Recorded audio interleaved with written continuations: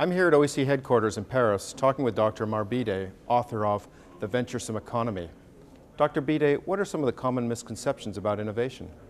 People frequently misconceive innovation as an activity ex undertaken exclusively by men and women in white coats. In fact, the kind of innovation that sustains widespread prosperity is undertaken by everybody, not just scientists and engineers. It's people who, uh, pe people on the factory floor, people who sell and market new innovations because new innovations can't be used unless they're sold and marketed.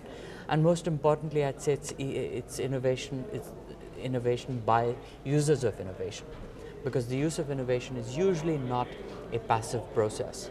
So this pro in innovation involves everybody in the economy. Dr. Bhidé, what's an appropriate role for government in fostering innovation?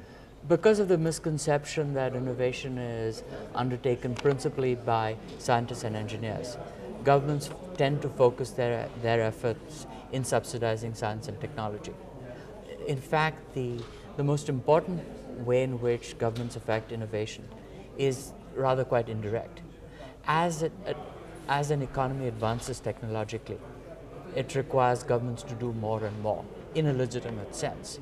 So there are positive externalities that have to be supplied by governments. There are negative externalities that have to be controlled.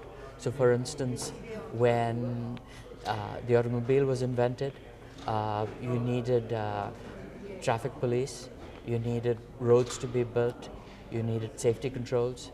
When radio was invented, you needed uh, the allocation of spectrum. So there, there, are, there are a wide range of ways in which governments can, can advance or retard innovation, not necessarily by simply subsidizing R&D. Dr. Bhidé, what do your views on innovation mean for transport? Everything that I've said about innovation so far applies in spades to the transportation sector. So transportation again is a, a, takes steam engines. So the, the, the real economic contribution of steam engines was not simply that of Stephenson who invented the steam engine.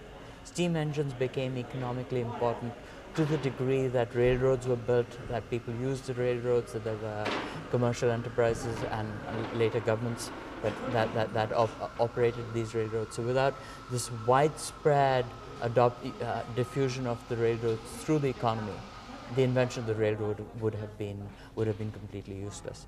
Likewise, governments have a huge role in, uh, in, in, controlling the negative externalities associated with transportation today. Sort of one of the biggest issues, of course, is carbon dioxide, but that's not the only one. Safety has been a, a, a big issue. Uh, the interaction of people using the transportation system is not something that the, that the market can take care of. I, I, already mentioned traffic police, air traffic control. So a, there, there are a wide range of activities which either promote or advance innovation, again, having nothing to do with subsidizing the high level stuff.